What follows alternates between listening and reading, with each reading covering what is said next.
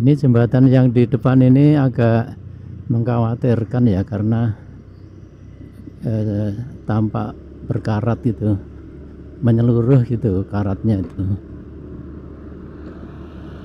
Ya mudah-mudahan nanti kalau ada manajemen yang lihat rekaman kita ini mudah-mudahan ini ya aware ya. Oke ini kita terus melanjut eh, rekaman ke arah jalan boulevard kota wisata. Nah dari depan ini kita coba akan ke kanan dulu aja.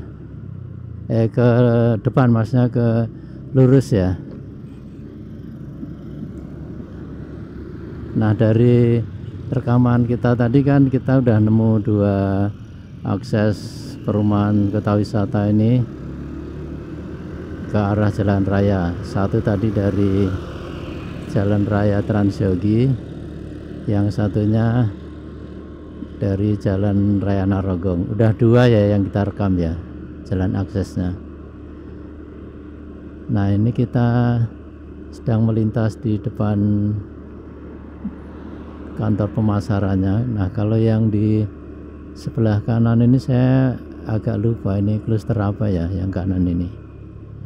Nah ini kita coba ke kiri aja deh. Nah ini juga belum pernah nih kita rekam nih yang jalan yang ini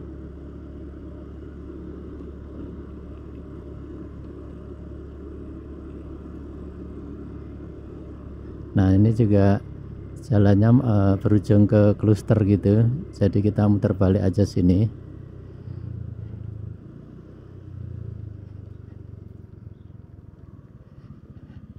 nah ini oh kluster Amerika ya yang ini ya.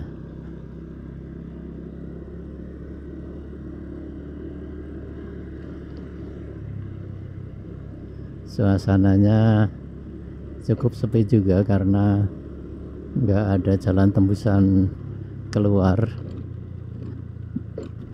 Jadi berhenti di kluster Amerika aja tadi. Nah kalau ini juga sepertinya masih masuk kluster Amerika nih oke kita lanjut terus merekam sisi kiri dari perumahan kota wisata. Nah yang kanan itu kluster Paris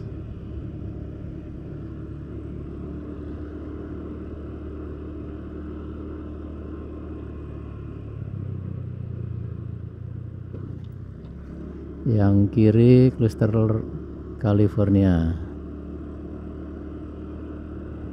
Ya ini emang nggak ada tema khusus gitu ya yang kita rekam ini general aja karena ini sekedar mutar-muter kita pengen ngerekam full perumahan kota wisata ini. Nah kalau depan kiri ini uh, kluster Vermont nih kluster yang baru dibangun. Terus kalau yang kanan itu kluster Florence. Nah ini akses ke kampung Nagrak bisa lewat sini. Kampung Babakan Ciang sana gitu. Nah ini berarti kita udah nemu tiga akses keluar masuk perumahan kota wisata ya. Dari enam. Ya dari enam akses ini kita udah dapat tiga. Nah ini kita lanjut terus merekam.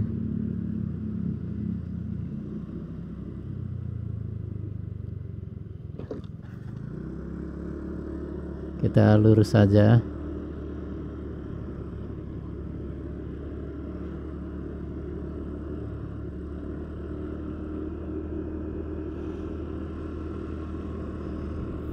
Nah kalau lurus ini juga nggak ada jalan tembusan gitu ya. Ini berhenti sampai di kluster aja.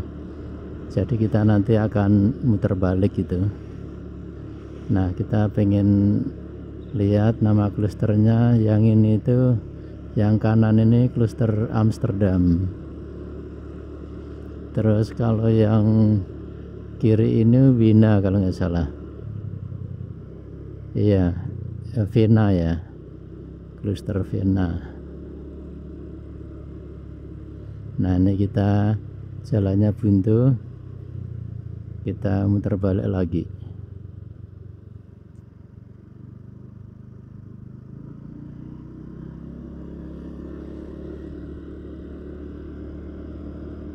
Oke ini kita akan balik lagi. Kita akan nanti di depan sana kita akan muter kiri ke arah jalan boulevard. Yang kiri tadi kan kluster Amsterdam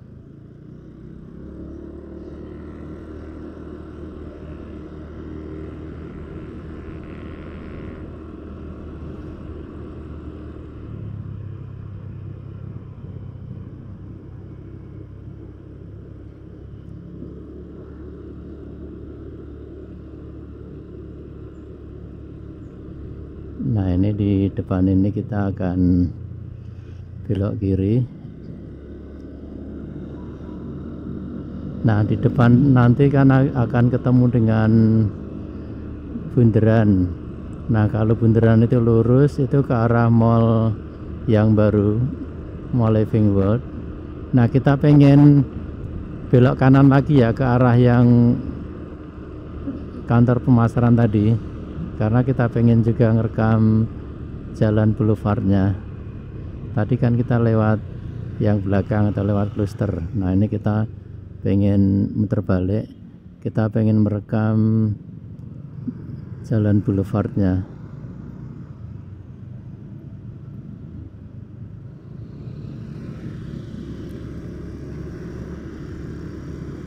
Nah ini kita akan balik lagi tadi ke arah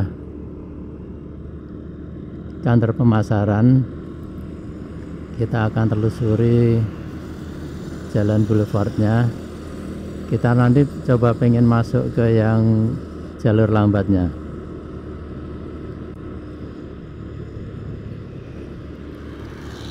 Tapi rupanya ditutup yang sebelah sini yang jalan lambatnya ya kita lewat jalan utamanya aja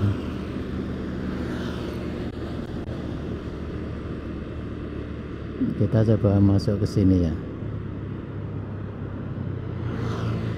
Ya kita lewat jalur lambat yang sini aja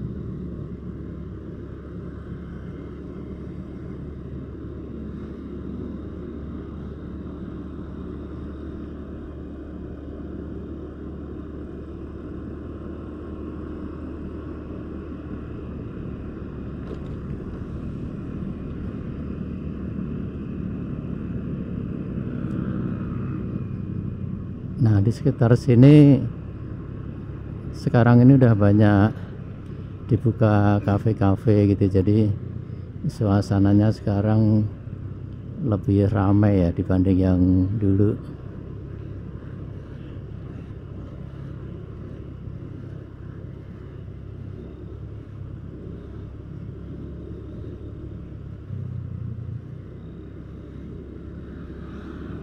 Nah ini kita akan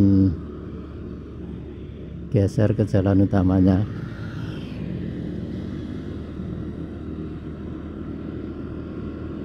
Nah di depan itu kita ketemu dengan bundaran yang tadi. Bundaran yang di sekitar kantor pemasaran. Nah ini kita akan muter balik lewat bundaran ini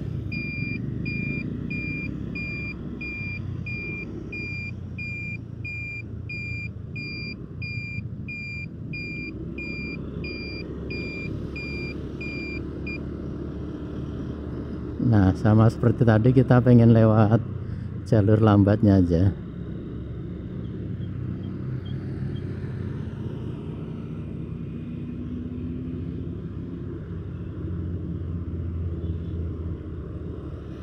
Nah suasananya di sini juga cukup ramai karena di sini juga sudah banyak dibuka cafe, resto kayak gitu.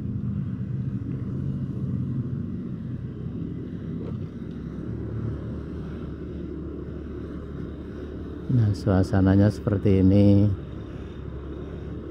Cukup ramai ya. yang parkir di kanan kiri cukup banyak kendaraannya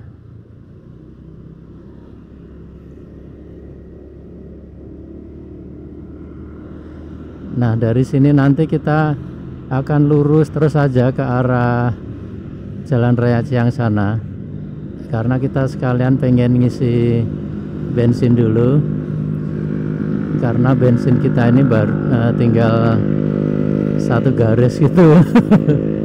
Saya pernah nih di sini ya di jalan boulevard ini kehabisan bensin. Lupa waktu itu kita nggak ngecek bensinnya gitu. Mogok jadinya motornya. Terpaksa kita ini ya kita dorong. Kita dorong kita tuntun motornya cari ke, ke arah jalan raya Narogong untuk cari bensin waktu itu. Eh, waktu itu cukup dramatis sih jadi kehabisan bensin terus kita dorong kita tuntun sampai jalan raya Narogong gitu. Nah ini kita yang lurus ya ke arah jalan raya Ciang sana. Terus ceritanya waktu itu kan yang di tadi yang di depan gerbang tol Narogong tadi kan ada tukang ojek. Ya ada saya ini e, minta diantar tukang ojek cari bensin dimasukin ke botol aqua gitu. Nah dramatisnya waktu itu kebetulan dompet saya lagi nggak ada uang cash. Jadi cuma ada uh, ada ATM gitu kan akhirnya ya udah mampir dulu ke ATM cuman karena waktu itu buru-buru gitu kan motornya saya parkir di depan gerbang tol Narogong. Waktu itu sih ditungguin sih sama istri. Kebetulan waktu itu saya bareng sama istri gitu. Jadi kasihan juga dorong-dorong motor. Nah karena buru-buru di ATM itu kartu ATM uh, eh, kartu ATM-nya itu tertinggal gitu. Jadi uangnya keluar AT, kartu ATM-nya lupa diambil. Jadi ya ketelen ininya kartu ATM-nya wah ya, ya adalah ya akhirnya belum ingat waktu itu. Akhirnya ke pom bensin beli beli bensin gitu. Terus untungnya sih boleh ya waktu itu ya pakai botol aqua gitu. Ya akhirnya balik lagi. Kemudian kita isi bensin motornya. Untungnya bisa langsung jalan. Tapi waktu itu sempat bau angus dulu sih ininya motornya itu. Jadi buat teman-teman kalau mau berangkat naik motor gitu jangan lupa dicek dulu bensinnya ya jangan seperti saya nih oke ini kita sekarang sudah berada di depan minimarket Hero